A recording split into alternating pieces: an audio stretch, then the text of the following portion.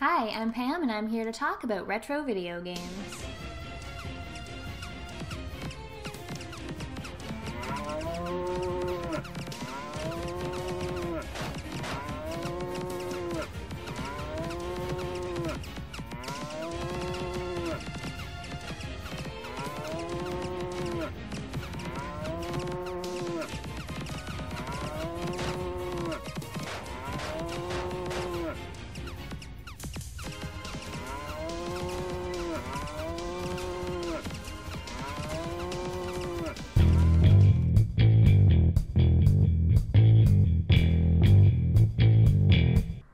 Today I'm looking at the most rare game on the Sega CD. It's a rather goofy shoot 'em up about a girl and her dragon. It's Keio Flying Squadron. One night, a flying wooden ship appeared suddenly from the sky and attacked.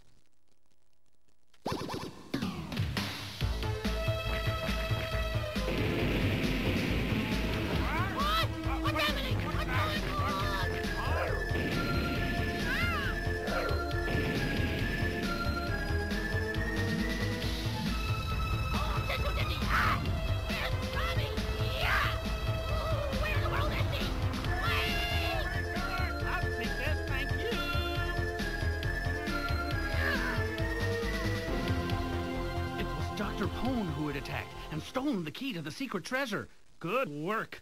At last, this key is mine. And I wasn't there to stop them! I hate this! Hyper Cutie Bunny Chase!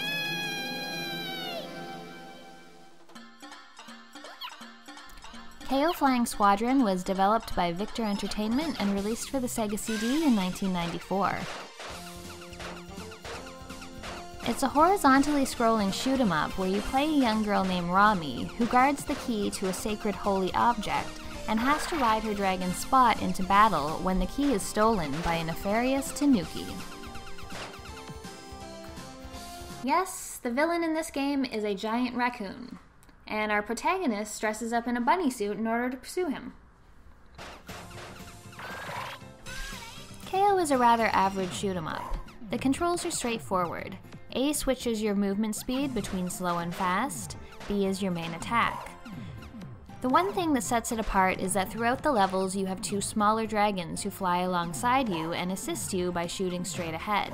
Pressing C will fire these dragons at your enemies in a spread shot. In order for them to respawn, you need to stop shooting for a few seconds. There are only two different main attacks a forward shot and a multi directional one. By picking up power ups for the shot you're currently using, you can make it more powerful up to a certain level. There are also sub weapons that Rami can use. These are bombs thrown at the ground, explosive throwing stars, and spot juniors, which auto target nearby enemies. While Keio's gameplay is quite average, what makes it stand out is its bright color palette, catchy music, and interesting visuals. As you go through the game's seven levels, you'll find yourself up against fearsome enemies like flying puppies, pigs, and cats. There are mini bosses throughout, and at the end of each level, you'll fight one of the seven gods of fortune. These bosses usually have multiple parts and can take a bit to take down.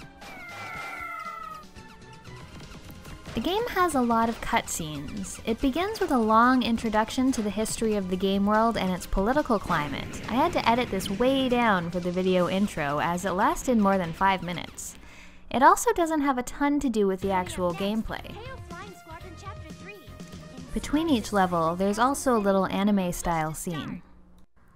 This game is full of oddities that raise a number of questions, like what does the stolen artifact do? Why is Rami in a bunny suit? And are those dragon testicles on my screen? One level you'll be battling furry animals, and the next you're taking on the American Navy's flying ships in one of the most annoying fights of the game. Apparently, Americans are all obnoxious, pipe smoking men in top hats. I found Keio rather tough because of the length of the levels. It was hard to get through some of them with limited amounts of lives. There are also limited continues based on your chosen difficulty. You get 6 continues on easy and only 3 on normal or hard. Unfortunately, you aren't told how many continues you have left at any point in the game. There are also some annoying bits that you need to memorize in order to avoid, like enemies unexpectedly falling on your head or coming from behind you. These aren't really things that you can react to, you just need to be in the correct spot to begin with. Despite its rarity and the value it carries now, Keio Flying Squadron is rather average. Don't get me wrong, I did have fun playing it, but this is a genre where there are a number of powerhouses, and other than the visuals and sounds, Keio just doesn't stand out. Uh, as I said, this is the most rare game on the Sega CD, and the price has really spiked over the past year. If you're looking to pick up a copy, it's currently price charting for over $700 American. You hate this? Hey, Spot, we gotta go. Spot? Are you still sleeping? Wake up!